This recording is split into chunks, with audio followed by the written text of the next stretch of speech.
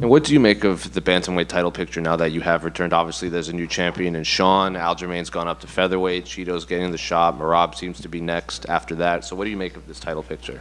Что ты думаешь о титульной ситуации в дивизионе? Сейчас Чита, Тита будет э, Чита драться за пояс, э, Стерлинг ушел на категорию выше, э, кажется, Мира будет следующим. Что ты, как ты в целом оцениваешь ситуацию?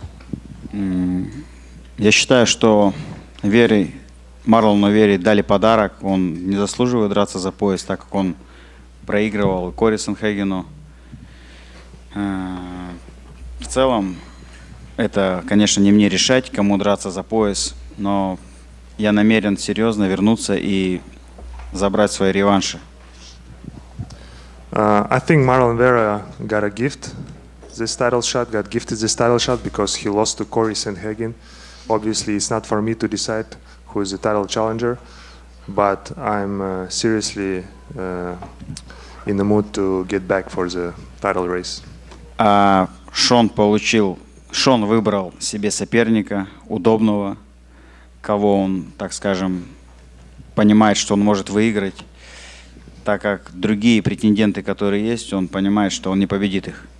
Yes, Sean just to pick a contender that he could beat because he doesn't believe he can beat uh, any other top uh, contenders in the division.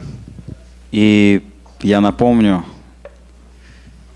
как он выиграл бой, как он выиграл этот пояс в поединке со мной. Ему просто подарили этот пояс. And just to remind everyone how he got his title shot, because he got gifted the decision in a fight against me. So, going off of that, given that you feel that Sean was give, gifted a gift and Cheeto was gifted this title shot, who do you think wins in the in that fight? Учитывая, что э, Чито, так сказать, ему подарили этот шанс, и Шону тоже в свое время подарили, как считаешь, кто из них победит? Честно сказать, 50 на 50 в этом поединке. Кто сможет навязать свой стиль, так скажем, свой план на бой.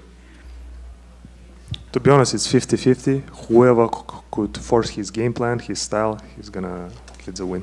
And just last one for me, considering how you do feel about the, the gifting going on, who do you think of the top 15 at Bantamweight would be the toughest fight for you in that title race? А, учитывая ситуацию в дивизионе, как ты считаешь, из топ-15, кто будет самым сложным поединком для тебя на пути к титулу? М, Честно сказать, мне интересны те поединки, в которых я уступил, который даже выиграл, но уступил. Это Мираб, Шон. To be honest, I'm interested in rematches, you know, in the fights that I lost, even or in the fights that I won, but uh, was uh, announced as a loser. So I'm interested in uh, Sean and Merab.